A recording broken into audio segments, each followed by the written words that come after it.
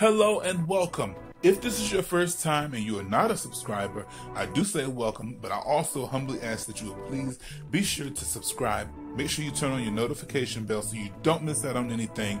And please leave me a comment and a thumbs up. If you are a subscriber, welcome back. Let's jump right into today's project. So today I'm doing what's called a stash project. I'm stashing off everything that is purely in my stash, my supply. So what I'm starting off with are these really nice crystal looking um, serving utensils from the Dollar Tree. And what I'm doing is taking my hot tool and I'm separating the handle from the actual neck of the utensils. And to do so, I'm using my hot knife and I'm just going across the top of it. And once I've gone across the top, it just really allows me to snap the piece right in half. And I've done this with about four to five packs. Here's a disclaimer. If you use this hot tool, please be sure that you use it in a nice, well ventilated area because trust me, those fumes ain't no joke. So once all of my pieces have been um, done, I'm taking this wooden medallion from the Dollar Tree or wooden disc, and I have this trim from the General Dollar Store, which I really like. It has its own uh, adhesive on the back, but I'm not going to trust that. I'm going to use a little bit of hot glue and just to be sure that it's stable and it stays down. And I'm going to do my whole wooden piece in there. So once my wooden piece has been trimmed in my diamond wrap, I'm now taking my mirror from the Dollar Tree. I've removed the feet from it and I'm going to go ahead and attach this to my wooden piece. And to do so, I am using, of course, our strong adhesive and our hot glue combination. If you don't know what this is for, it's not just an extra step. The hot glue works as a right now adhesion, while the strong adhesive sets up for a permanent or long term adhesion.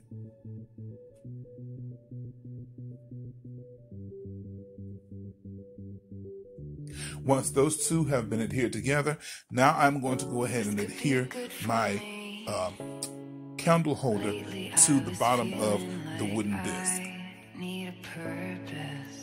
And again, using the, those two adhesives together.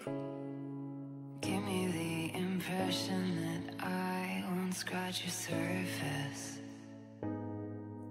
When I'm placing this, I'm making sure that I take my time to make sure that it's nice and centered and make sure that it is where it needs to be because once that hot glue hits it, that's all she wrote, you guys. So now I'm coming in with my pieces that I um, have taken apart or disassembled with my hot knife. So I am going to start off by doing my placement in like the north, south, east, and west, or like the, what is it, 12, 4, 6, and 9. I don't know. I ain't got no clock right in front of me. But y'all know what I'm saying. Mm.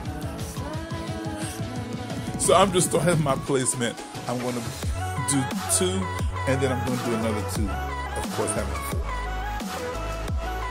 So you guys, I have definitely got to give a shout out to Val over at Valerie's Glamorous Castle DIYs. This was totally inspired by her. She made this really nice, um, what is that thing? You know the thing that has the sand in it and hourglass. There we go. She made this really nice hourglass using these same utensils. So total shout out to you, Val. Thanks for the inspiration.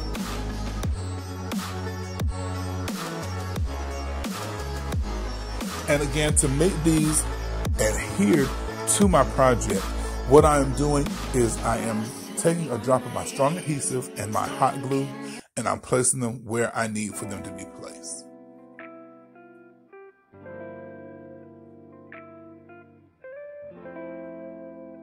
Once my four stationary uh, pieces have been put where they need to be put, now I'm going to come back and take the rest of them and just fill in those um, spaces in between. Now I'm going to take the actual neck of those utensils um, and fill in between each of those spaces that are left.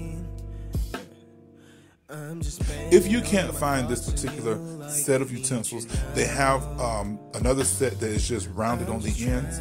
You guys, that will work perfectly fine as well. And looking in hindsight, I wish, I wish, I wish that I had have done these with different heights and staggering heights. I think that would have been really nice.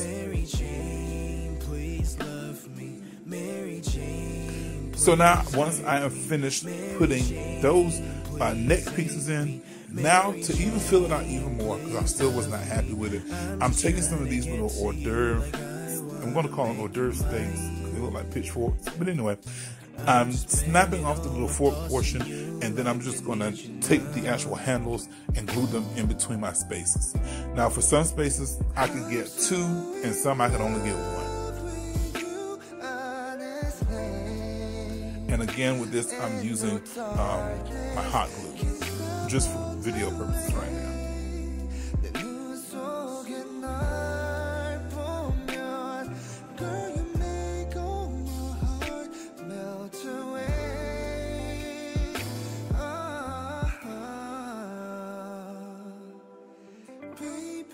So now once that's done, I am going to take some of these diamond dazzlers that I had left over from a wedding.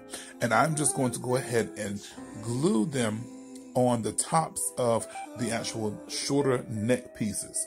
This is going to bring the project together and it's also going to cover up where we actually cut and separate our pieces. And then I'm also going to take these same little diamond dazzlers and I'm just going to go ahead and cover up around the bottom portion of the project where you can see a little bit of the glue where we were adhering the handles around the base.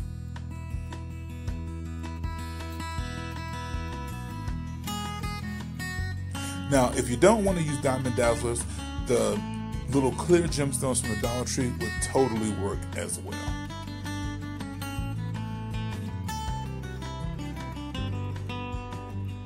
So once it's done, I'm going to go ahead and glue it to the pedestal.